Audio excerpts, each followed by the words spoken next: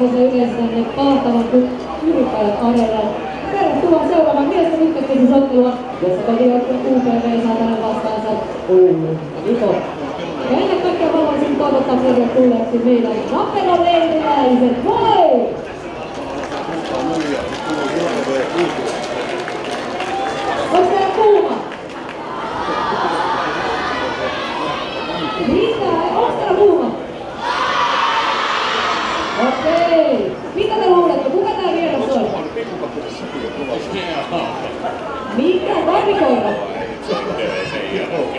Nakkikoira. Niin on. Tulpas nakki rakki tänne.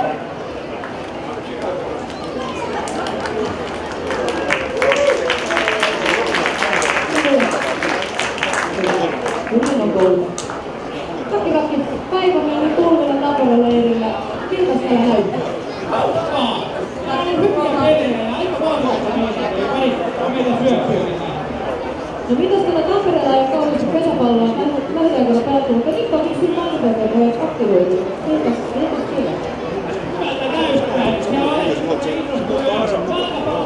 Jääkiekostakin lähtee reskään syöpyille.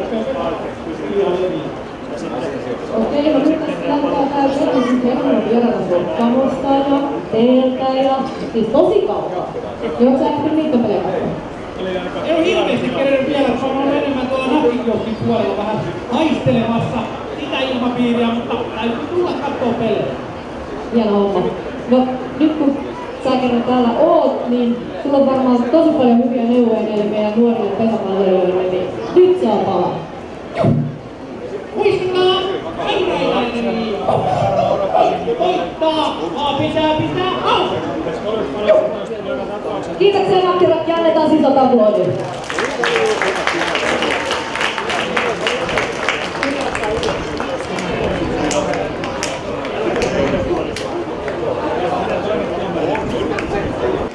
Ensinnäkin haluaisin toivottaa hyvin lämpimästi tervetulleeksi ki- kaikki meidän 56 loistavaa Napero-joukkuetta.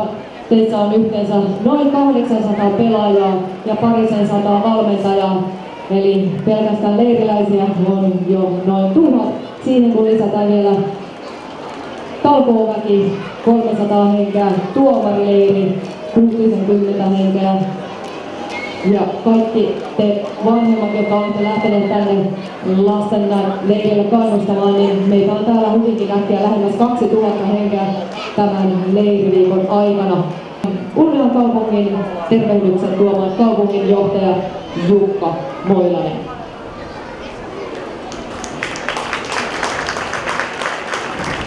Toivotan teille kaikille aurinkoista kesäiltaa koko tälle pesäpalloperheelle. Samalla toivotan teidät kaikki tervetulleeksi Urvilaan, Suomen kolmanneksi vanhimpaan kaupunkiin. Urvilahan on tunnettu myös pesäpallopitäjänä. Täällä on pelattu pesäpalloa, voisiko sanoa, että pesäpallon alkuvuosista jo kyläpeleinä kuningaspalloa ja pitkäpalloa. Yhtenä todisteena siinä on se, että tämä pääkatsomo on ollut suurin piirtein näillä paikoilla yli 80 vuotta, eli vuodesta 1932 alkaen. Vuonna 1957 perustettu UPV on tietysti pesäpalloseura, joka tunnetaan koko Suomessa. Leppäniemen Eetu sanoi äsken juuri, että vuonna 1963 noustiin mestaruussarjaan, eli siitä on 50 vuotta, ja Suomen mestaruus tuli voitettua vuonna 1970. 2010 viimeksi pelattiin Ullassa superlippesistä ja nyt ykköspesistä. Syksyllä, viime syksynä kun minulta tultiin kysymään, että onko kaupunki mukana siinä kun järjestetään Naperoleiri, sitä ei tarvinnut miettiä hetkeäkään. Olemme todella iloisia ja ylpeitä siitä, että tämä Naperoleiri on järjestetty tällä kertaa täällä Ulvilassa.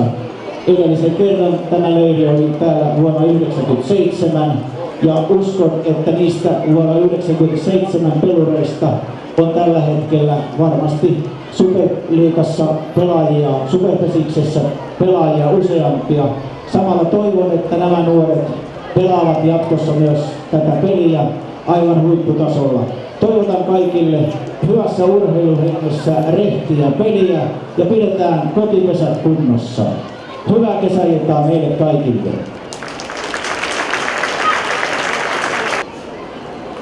Otetaan ensin pelaajavalla Oskari Kleevala.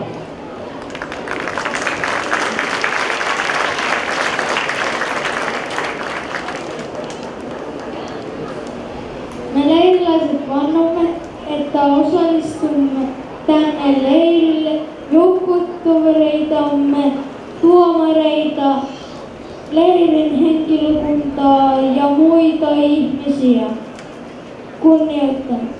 Ja lupaamme pelata parhaiden taitojemme mukaisesti reilun pelin hengessä. Iloisesti toisia kannustaen ja yhteisiä sääntöjä kunnioittaen. Odotamme, että saamme pelata ja toimia leirille kannustavassa ja myönteisessä ilmapiirissä. Toivomme, että kaikki pelinjohtajat, tuomarit ja toimitsijat antavat omalla esimerkillään meille mahdollisuuden kasvaa reilun kaveruuteen ja urheiluhenkeen.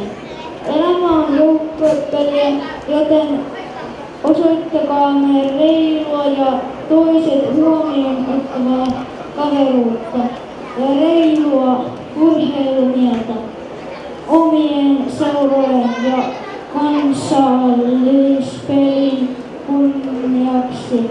Yhdessä pärjäämme paremmin. Kiitos.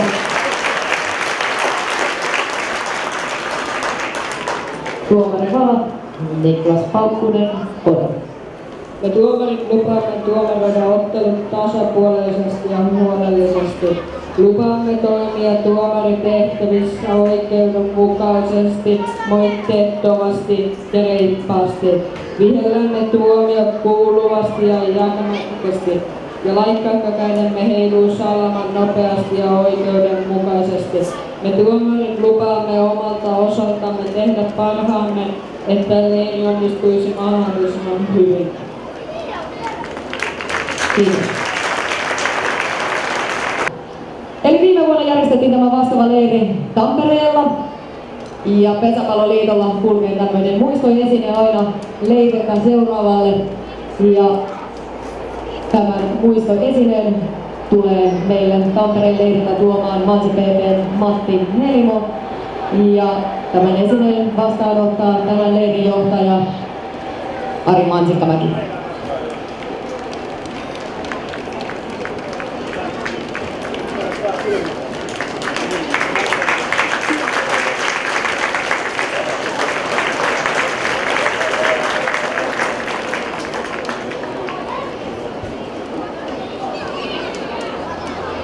Joo, kiitoksia minunkin puolestani leirin johtajana on pakko päästä lausumaan muutaman sana ennen kuin Safiri pääsee estraadille.